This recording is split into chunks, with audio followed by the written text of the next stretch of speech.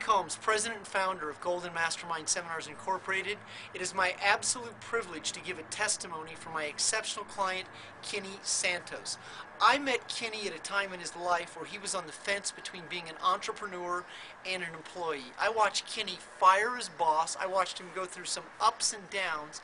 Then I watched him stabilize emotionally and become an exceptional mentor. Kenny went on to become a six figure income earner, a leader in his entrepreneur, entrepreneurial community, and absolutely the leader that you are looking for. Kenny, thank you for having the courage to become an entrepreneur and become a leader. Kenny, you rock.